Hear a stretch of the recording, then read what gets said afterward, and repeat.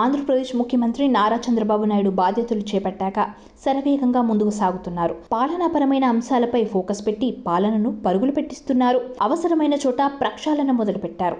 ఒకటి రెండు రోజుల్లో కీలక నిర్ణయాలు ఉంటాయని కొన్ని వ్యవస్థల్లో పూర్తి స్థాయిలో ప్రక్షాళన ఉంటుందని చెబుతున్నారు.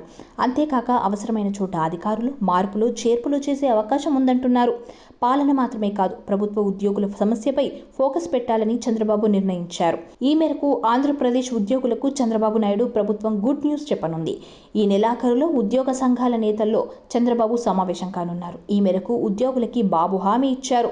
ఉద్యోగ సంఘాలతో తాను ఈ నెలాఖరుకు సమావేశమవుతానని చెప్పారు. ఎన్నికల సందర్భంగా కూటమి నుంచి ప్రభుత్వ ఉద్యోగులకు అనేక హామీలు ఇచ్చారు.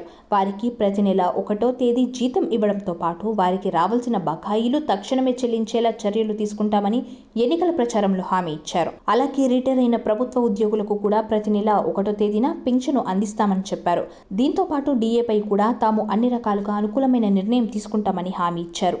ఈ నేపథ్యంలో ప్రభుత్వ ఉద్యోగుల సమస్యల పరిష్కారానికి చంద్రబాబు భేటీ అవుతున్నారు.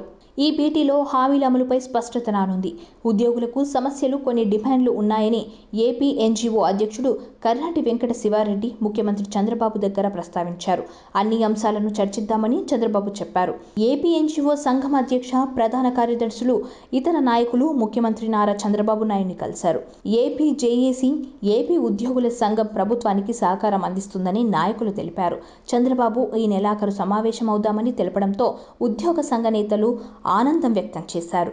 ఈ భేటీలో అన్ని సమస్యల్ని ప్రస్తావిస్తామని చెప్పారు. అందులోనే సమస్యల పరిష్కారానికి హామీ లభించనుంది అలాగే ఎలాంటి లబ్ధి ఉద్యోగులకు కలుగుతుంది అనేది క్లారిటీ రానుంది.